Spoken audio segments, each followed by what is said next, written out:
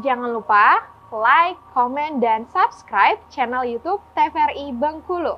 Dan jangan lupa nyalakan notifikasinya. Jelang pemilihan umum 2024, Komisi Aparatur Sipil Negara mengingatkan ASN agar bijak dalam menggunakan sosial media. ASN diminta berhati-hati dalam memposting, membagikan, berkomentar, dan menyukai konten di sosial media mengenai pemilu dan pileg.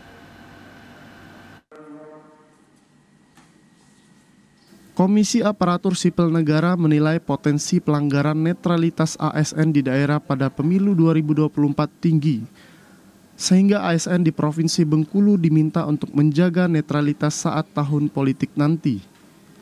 Salah satunya dengan bijak menggunakan sosial media, terutama dalam memposting, membagikan, berkomentar, serta menyukai konten di sosial media mengenai pemilu di Pileg para ASN dilarang mengekspresikan preferensi politik di ruang publik. Nantinya ASN yang terbukti melanggar netralitas dalam pemilu akan diberikan sanksi. Paling berat pemberhentian tidak dengan hormat atau PTDH. Pada pemilu sebelumnya, sekitar 40 ASN dilaporkan melanggar netralitas oleh Bawaslu. Ya, himbauan saya kepada ASN sebenarnya ya itu, itu tadi uh, jangan ekspresikan preferensi politik Anda di ruang-ruang publik ya. Di media sosial di dalam percakapan-percakapan di dalam uh, pertemuan-pertemuan gitu ya. Nanti silahkan ekspresikan itu dalam ruang uh, bilik suara.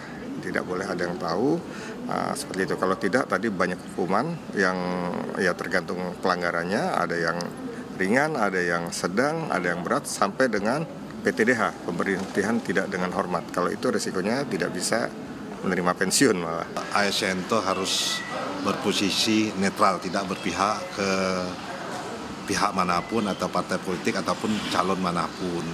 Supaya nanti eh, dalam pelaksanaan pekerjaan ASN itu tetap profesional. Selama proses pemilu berlangsung, para ASN pemerintah Provinsi Bengkulu akan diawasi oleh Inspektorat hingga KASN. Lucia Mayangsari, TVRI Bengkulu melaporkan.